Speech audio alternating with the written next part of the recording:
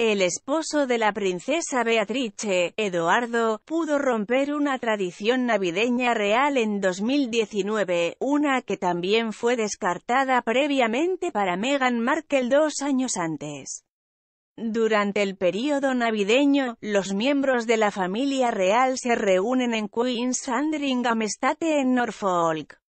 La tradición de reunirse en la propiedad privada de Su Majestad se remonta a 1988. En la mañana de Navidad, los miembros de la firma suelen ser vistos caminando hacia la cercana iglesia de Santa María Magdalena en Sandringham. Los miembros de la realeza asisten tradicionalmente al servicio del día de Navidad, antes de regresar a la propiedad de la reina para sus festividades privadas.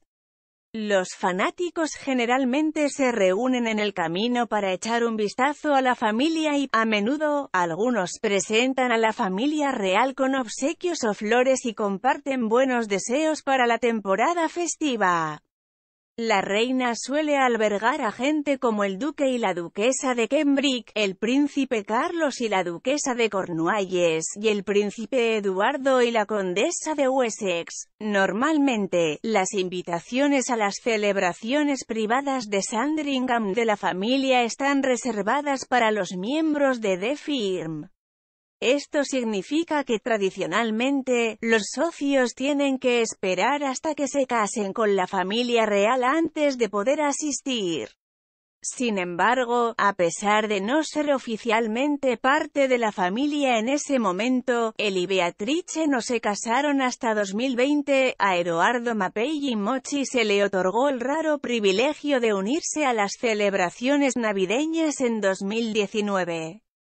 Es solo la segunda vez que Su Majestad permite que una persona que no sea de la realeza se una a la reunión fe. En 2017, la tradición también se eliminó después de que el príncipe Harry invitó a su futura esposa Meghan Markle a unirse a la realeza. Esta acción allanó el camino para que Beatrice hiciera lo mismo con Edo. Meghan pasó tres días con la realeza para las festividades, mientras su propia familia estaba en Estados Unidos.